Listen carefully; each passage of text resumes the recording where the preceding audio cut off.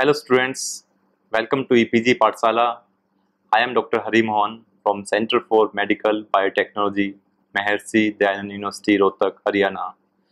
Today we will discuss a module pregnancy diagnosis in animals under paper animal cell biotechnology. The objective of this module is to know the significance of pregnancy diagnosis in animals, the events which takes place during pregnancy and which forms the basis of pregnancy detection, methods which can be used for diagnosis of pregnancy and future prospects and scope in the pregnancy diagnosis. The confirmation of pregnancy is like a good omen for farmer. Detection of pregnancy at early stage is directly proportional to the income of farmer.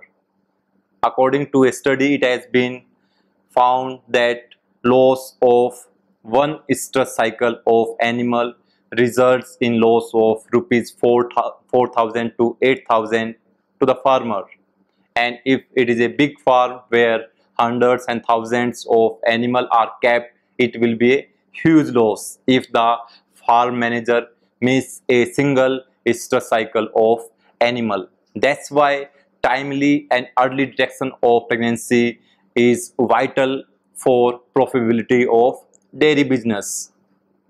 Apart from dairy business in case of meat industry also if the timely detection of pregnancy is done it will result in increase in crop of animals at a rapid rate. And that is the objective of meat industry to have more animals in less time. Apart from large animals in pet animals also proper diagnosis of pregnancy is important to avoid unwarranted pregnancy in dogs and to know or to increase the litter size if someone is going for commercial production of pups for uh, uh, for selling. So uh, timely detection of pregnancy is important for everyone whether it's large animal or whether it's small animal.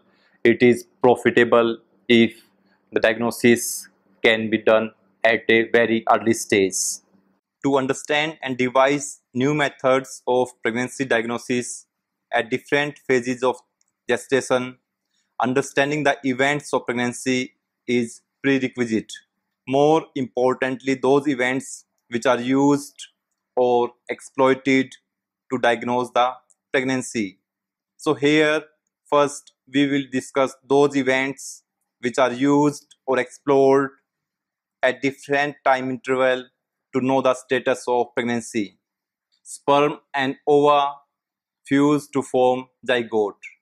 The zygote from fallopian tube will travel to uterus and will get implanted there.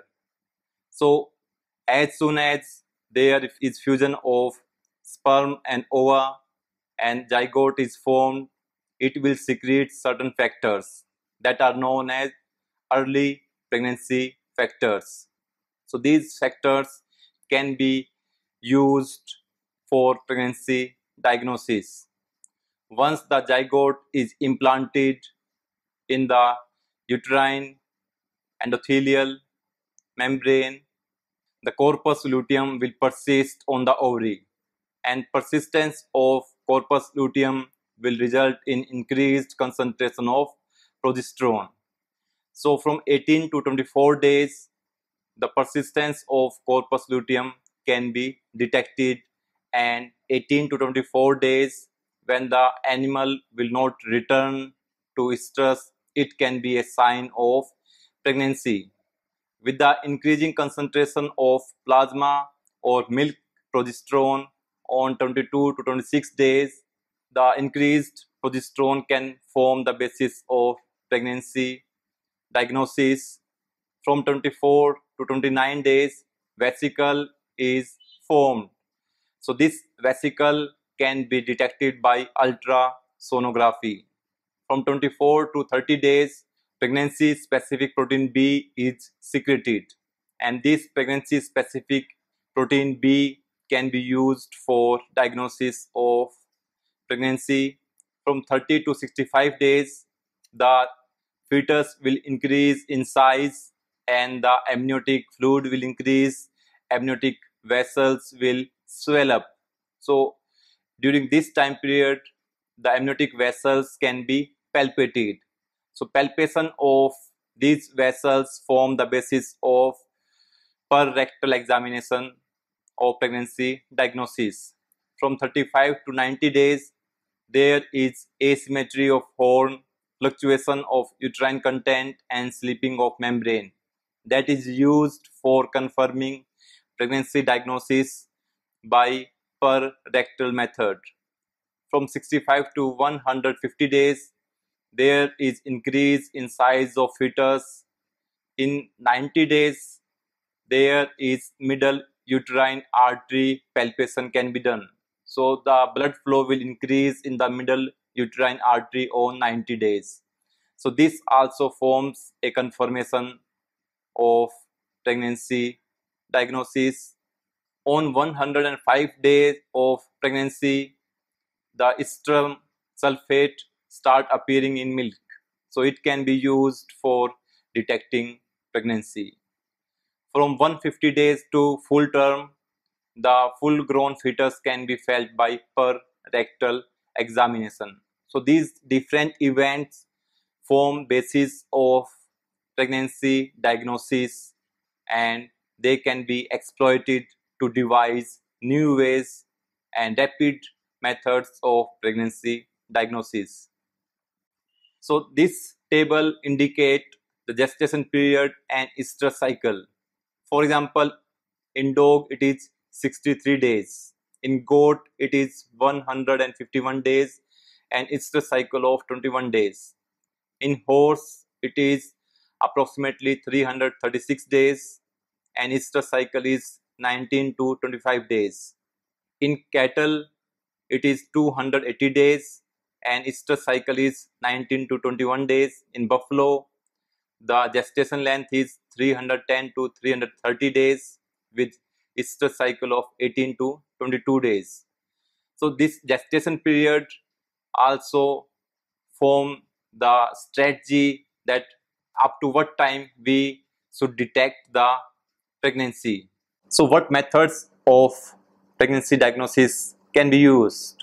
some are conventional method and some are new methods. So first and very conventional method is external observation or visualization of animal. Second is by rectal palpation. Rectal palpation is mostly used in case of large animals like cattle buffalo horses etc third method is by mean of ultrasonography or radiology and fourth one and latest method is detecting the biomolecules associated with pregnancy either by ELISA or by radioimmunoassay or by PCR based methods. So first method and very conventional method is by visualization or external appearance. It has been used since ancient time by our ancestors. So animal is observed daily for sign of estrus cycle. So if there is no return of estrus cycle, it means that animal is pregnant. So non-return of estrus cycle can sometimes be conceived as a positive signal for pregnancy. However, this is not always the case. In case of silent heat, in case of anestrus, then also animal will not show any sign of heat but animal is not pregnant also. Second, by visualizing the vulva, the external genitalia of female. In case of pregnant animal, the vulva is shrunken and pale whereas in case of non-pregnant animal, the vulva is smooth, oedematous and hyperemic. So by visualizing vulva also it can be ascertained whether the animal is pregnant or not. Other signs such as increase in weight, increase in abdominal area, increase in fattiness of animal, increase in udder size, drooping of back can be used as a visual signs and which can indicate pregnancy. So pregnancy diagnosis by visualization of external signals lack accuracy and it can be misleading and it can waste a substantial amount of time of farmer. So that will also lead to loss of money to the farmers. Rectal palpation is most commonly used method for pregnancy diagnosis in cattle and buffalo. By this method, pregnancy can be diagnosed as early as 35 days and more accurately at 45 to 55 days of gestation. By per rectal examination, tonic uterus, gravid or enlargement of horns, slipping of fetal membrane can be detected. This method is accurate and it require a expertise of veterinarian but it also carry the risk of abortion in 10% of cases if per rectal examination is done before or at 35 to 41 days of gestation. Further, if proper precautions are not taken, it may result to damage of mucosa layer and rectum wall of animal causing infection and other complications. So these techniques should always be performed by specialized veterinarian to do pregnancy diagnosis at the earliest. So during per rectal examination, the cervix serve as landmark for capturing or for identifying the female reproductive organs. So after capturing cervix, the veterinarian will move forward or backward either to capture ovary or to capture uterus. So after capturing cervix, the veterinarian will feel the tonicity and asymmetry of horn. If the horns are asymmetric, it may be an indication of pregnancy. So it can be used 25 day onward of gestation. If ovary is captured, there are two possibility either smooth ovary or ovary with corpus luteum. Ovary with corpus luteum is an indication of pregnancy and it can be used as a parameter on 35 day onward. Uterine horn, if they are asymmetric and gravid, it also indicate pregnancy.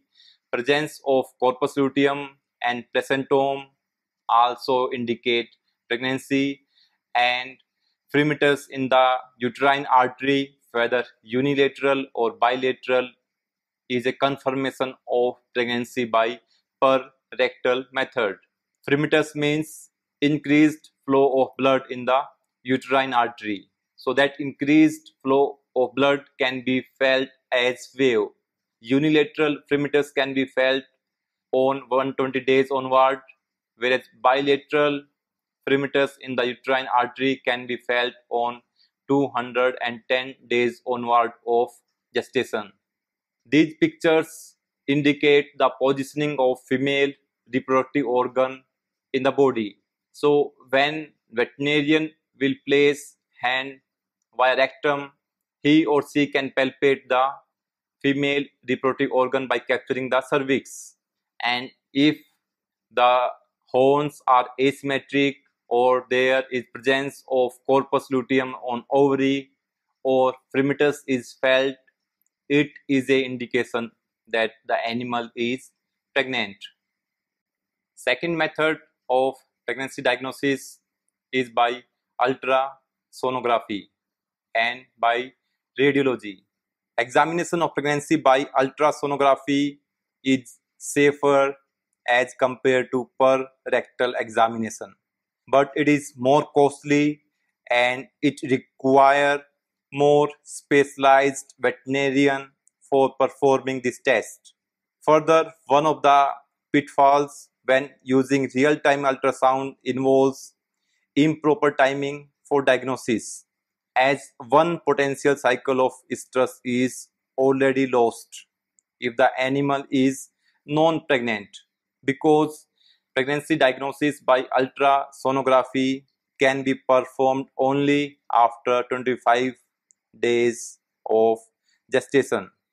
Ultrasonography is better as compared to per rectal method as it can detect animal as pregnant earlier than the per rectal method and in cattle and buffalo the probe can be inserted per rectum whereas in sheep goat and small animals like cat dog trans abdominal probe can be used for detection of pregnancy.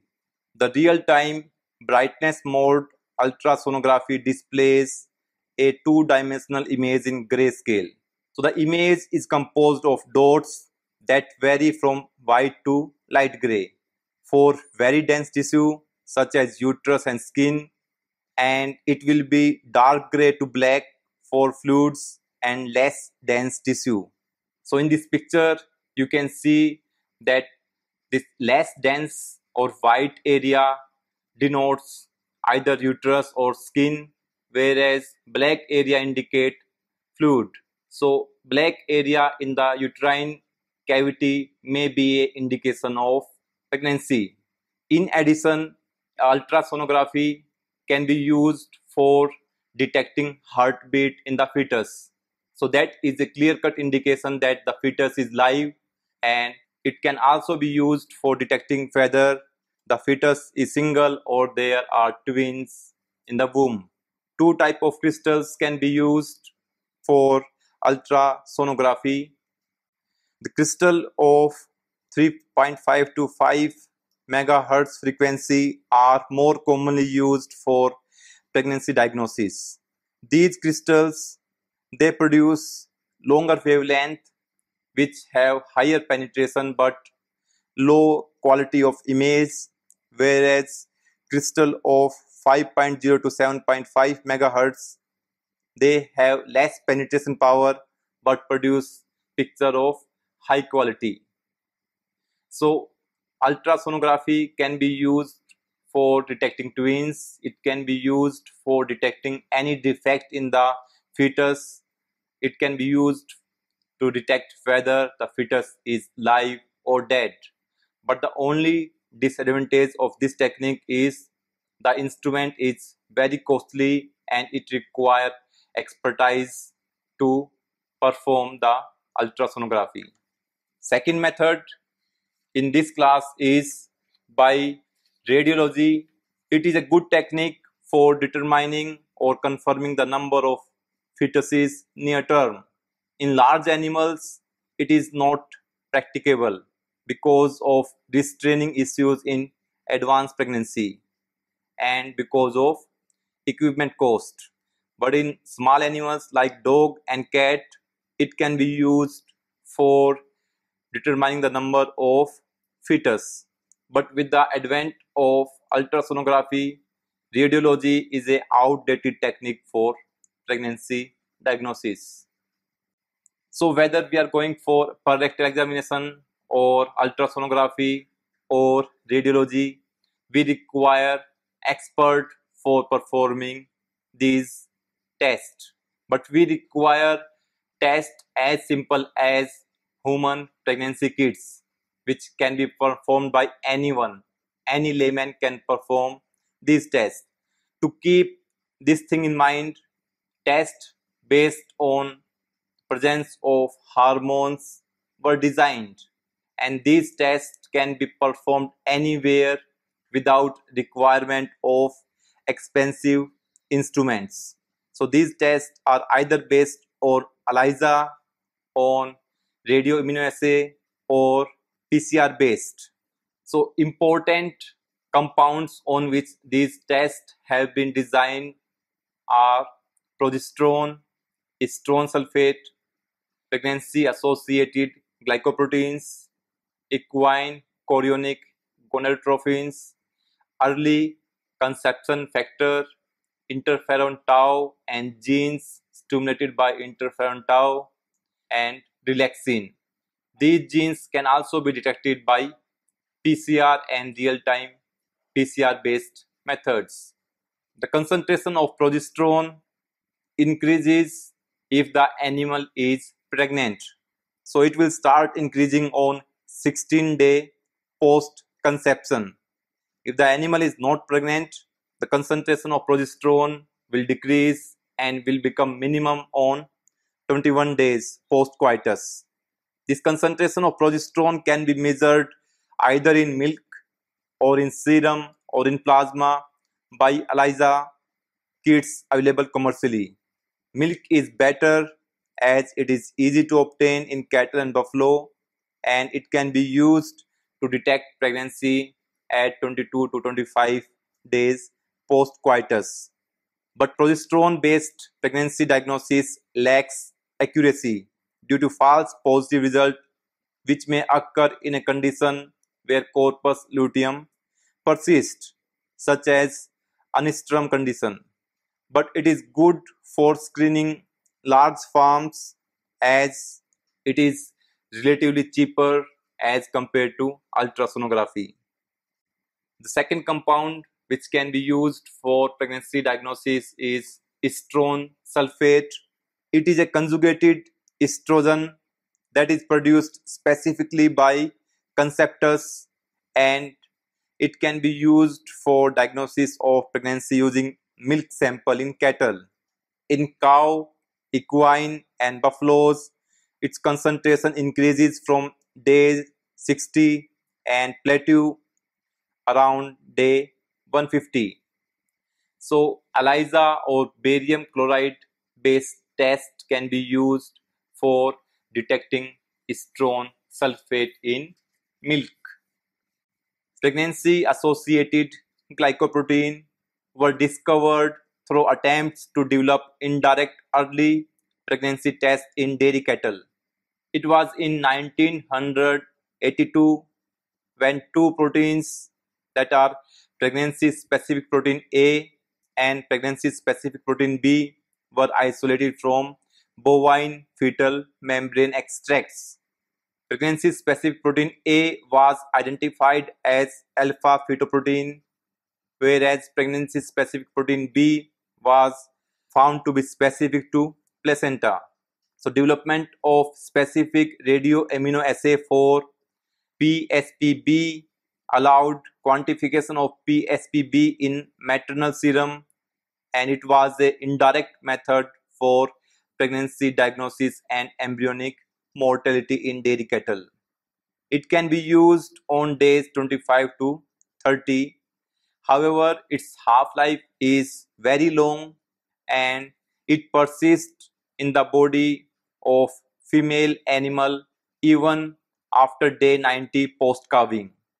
So it may give false positive result in the cattle bred around day 60 post calving. Equine chorionic gonadotropin is produced from a group of specialized placental cells known as endometrial cups and is only present in pregnant mare from approximately 35 to 120 days of gestation. So ELISA method or lateral flow method can be used as a confirmatory test for detecting pregnancy in mare from day 35 to 120. But in case where mare lost pregnancy or abortion occur in mare after endometrial cup formation, the false positive result will be obtained and this test give false results before day 35 and after day 120. So although this test is very effective, but it can be used only in a range of day 35 to 120 post conception. Next compound is early conception factor which is also known as early pregnancy factor. It is a protein which is present in the sera of most mammalian species including humans, mice, sheep, cows, buffaloes, pigs, mare, and also in some wild pregnant animals. These factors are detected within 6 to 24 hours of fertilization and can continue up to two-thirds of gestation. So this EPF, they remains the earliest serum benchmark of positive fertilization and these can be detected by rosette inhibition test. In this picture, you can see this positive rosette inhibition test if the animal is pregnant and there will be no rosette formation if the animal is non-pregnant. But this rosette inhibition test is a time-taking test, so that's why it is not preferred over other better methods. In addition, this ECF is also detected in many kind of tumors. So it is not specific to pregnancy only, it is also present in many type of cancer cell also. Interferon tau and gene stimulated by interferon tau such as ubiquitin like modifiers, ubiquitin cross reactive proteins, 2 prime 5 prime oligoadenylate synthetase 1 myxovirus resistance gene that is MX1 and MX2 are found to be associated with maternal recognition of pregnancy in sheep, buffaloes and cattle. They are associated with maternal recognition of pregnancy and present in sera of cattle and buffalo at days 15 to 17 post-breeding. Among these genes, this MX2 appears to be a promising gene which can be detected early in the pregnancy, especially in heifers. So ELISA based or PCR based method can be used for detecting interferon tau or genes stimulated by interferon tau. Dog are different from other animals in a way that which do not produce a pregnancy specific hormone similar to human chorionic gonadotropin. In addition, progesterone is not a useful indicator of pregnancy in dog as the female show high concentration of progesterone even after two months of heat. So progesterone cannot be used as an indicator of pregnancy in dog. So here relaxin can be used to detect pregnancy on day 25 in dog. However, this test is slightly late as compared to abdominal ultrasonography and relaxin also don't indicate the number of fetus and the viability of fetus. So in dog, we can say ultrasonography is a superior method of pregnancy detection as compared to relaxin detection by ELISA or by PCR. False negative also appear as the sperm may survive in the female reproductive tract for 6 to 7 days and false positive results may occur if early abortion occur. Apart from ELISA based assays, PCR based assays or real-time PCR based assays for detecting the genes stimulated by interferon tau can be used as an indicator of pregnancy. Upregulation of genes associated with interferon tau indicate pregnancy such as MX1, MX2, OAS1, UCRP. These genes upregulation indicate pregnancy indirectly.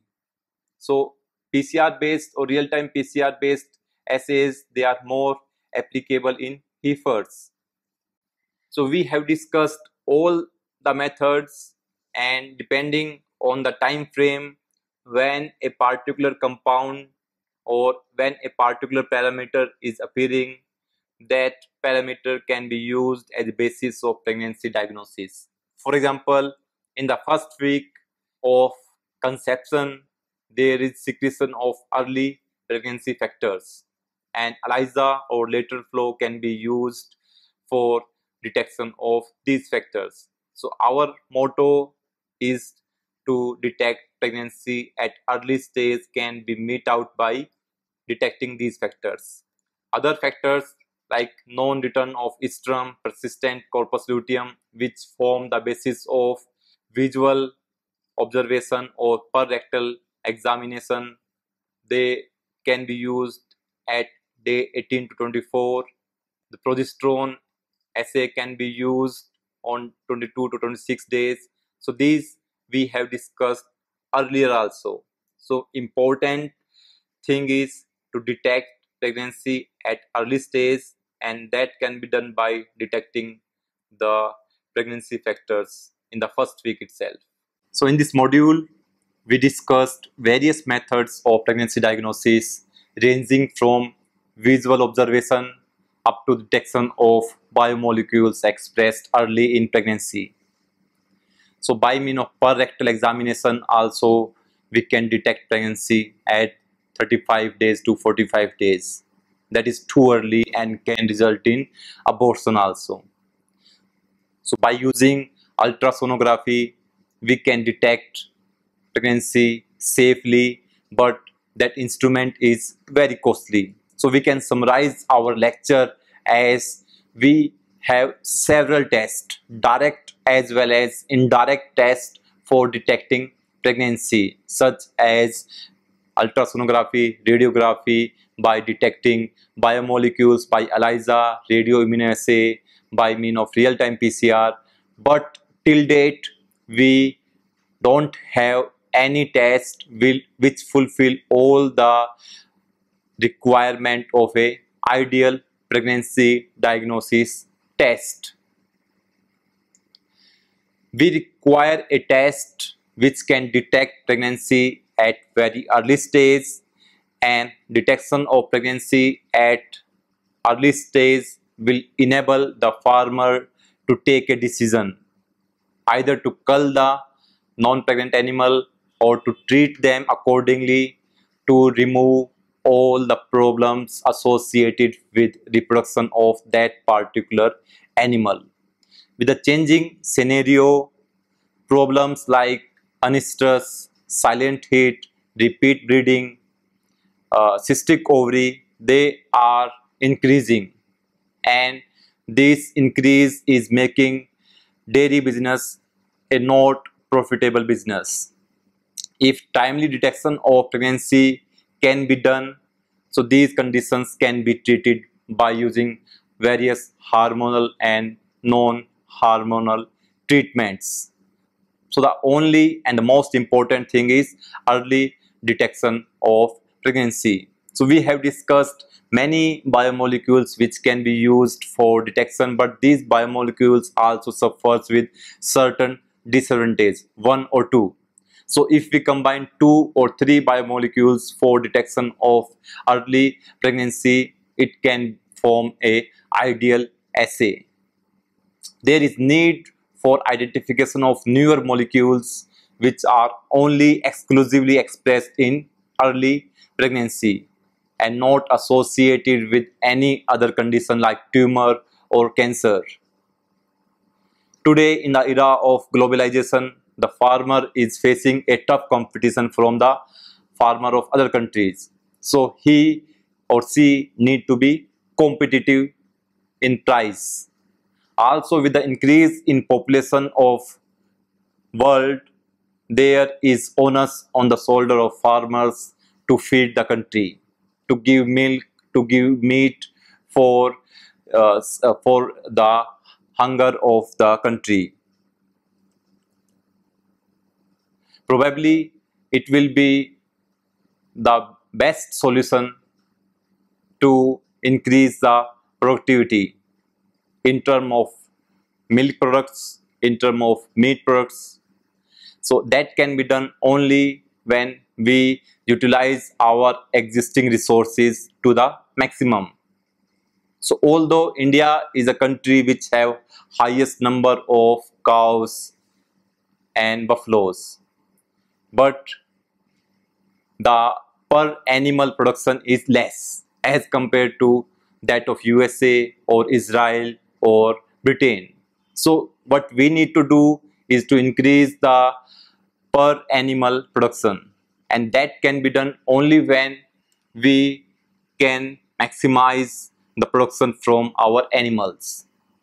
For that purpose, we require early detection of pregnancy. That is the only single parameter by which we can decrease the losses and which we can increase the profit. Apart from the biomolecules what we discussed in the module, there are other biomolecules also which are in pipeline such as anti-testosterone antibody light chain, apolipoprotein A2, serum amyloid A, cytokeratin type 2 which have role in embryogenesis. So if these biomolecules can be targeted for early detection of pregnancy, it will be a wonderful thing. Development of lateral flow assay or ELISA is a need of hour for increasing farmers profitability and to keep farmer in this profession because routine losses will discourage the farmers to keep animals. That's why we can say early detection of pregnancy is need of hour and that can be done with the help of techniques what we have right now. So this omics technique, proteomics techniques, uh, transcriptomics techniques, genomics techniques, they can be combined in a way to come up with a product and that product can be used specifically for a betterment of our dairy industry, for betterment of our milk industry and for our pet animals. Thank you very much.